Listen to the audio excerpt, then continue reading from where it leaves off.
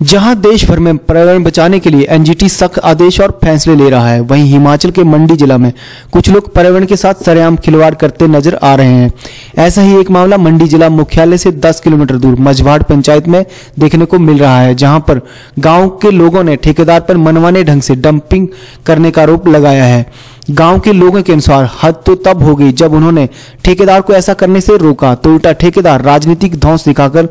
धड़ल्ले से सड़क किनारे और जंगल में डंपिंग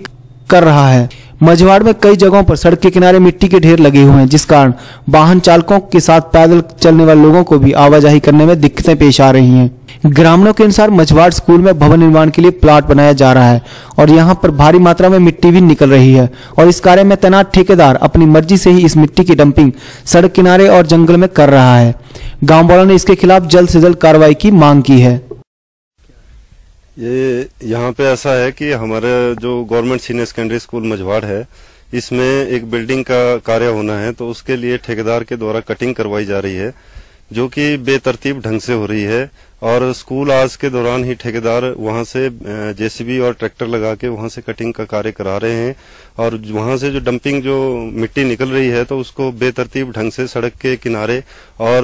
मैदानों में हर कहीं फेंका जा रहा है, जिससे कि पर्यावरण भी प्रभावित हो रहा है और यहाँ के रोड में चलने वाले जो चालक हैं, वाहन चालक हैं, उनको भी परेशानी का सामना करना पड़ रहा है।